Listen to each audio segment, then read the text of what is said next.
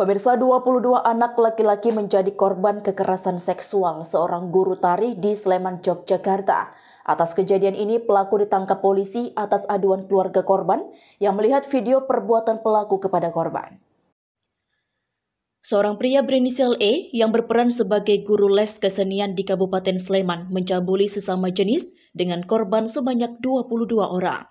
Pelaku yang berusia 29 tahun itu merekam hampir semua aksi pencabulan terhadap korban. E ditangkap di rumahnya di daerah Kabanewon Gamping, Kabupaten Sleman.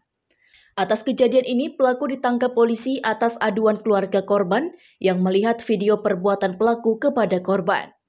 Kepada polisi, pelaku mengaku aksi bejatnya terpengaruh video porno yang sering ditontonnya.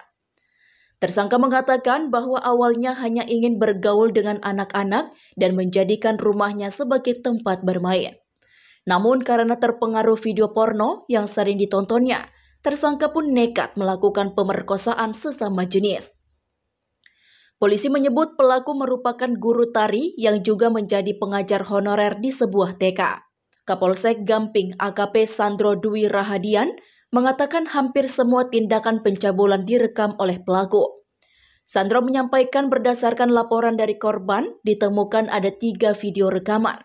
Dari pengembangan polisi ditemukan lebih dari tiga video.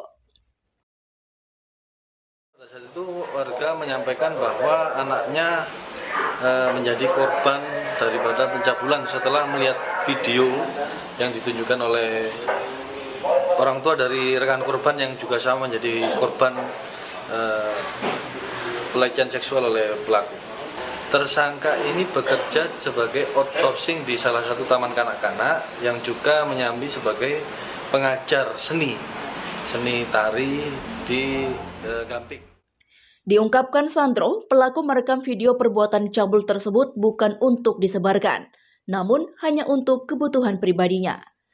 Akibat perbuatannya, pelaku terancam hukuman pidana asusila serta Undang-Undang Perlindungan Anak.